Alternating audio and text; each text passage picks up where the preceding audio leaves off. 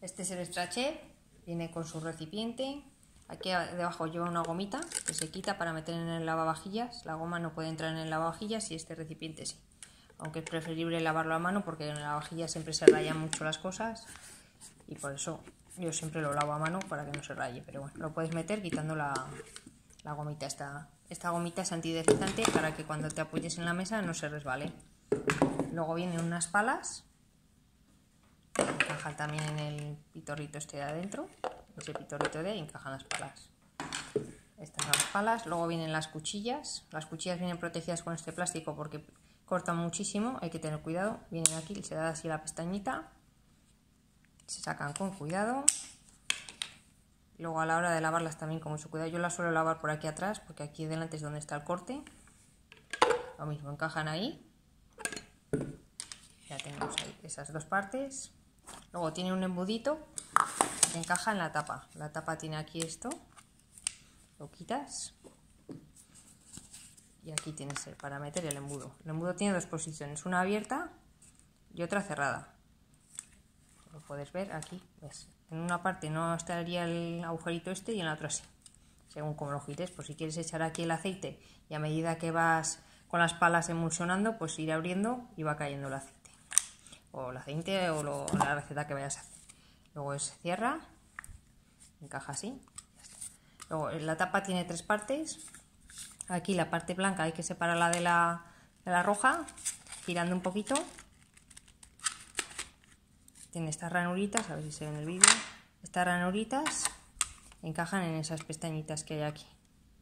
Estas de aquí. Entonces es bajarlas ahí abajo y girar. entonces se cierra. Luego, a la hora de lavarlo, a la hora de lavarlo, eh, estas dos piezas, una de ellas no se puede lavar, ahora te voy a explicar. Hay aquí esta ranurita, metemos, yo cojo una cucharilla pequeña, la meto en esta ranurita, haces un poquito de palanca y entonces sale la parte. Esta parte de la cuerda no se puede lavar, porque al estar la cuerda aquí metida, si se queda mojada, se estropea. Si por lo que sea alguna vez la, la lavas y no te acuerdas de quitar la pieza esta, o la sacas entera, la sacas así entera, le pones aquí una pinza y así que se quede todo esto estirado hasta que se seque. Pero si te acuerdas, lo ideal es dejar esto sin lavar, que es la parte del circuito. Esto sí lo puedes lavar, todas las demás piezas se pueden lavar y esta parte no se puede lavar. Esta parte luego para montarla tienes que volver a buscar la ranurita esta ranurita que hay aquí, a ver. Vamos buscando, vamos buscando, a ver dónde está. Aquí, que lo estaba montando al revés. Aquí esta ranurita encaja con esta. ¿Veis? La pones así, encaja, petas y ya está montada. Luego ya la montas aquí y ya está.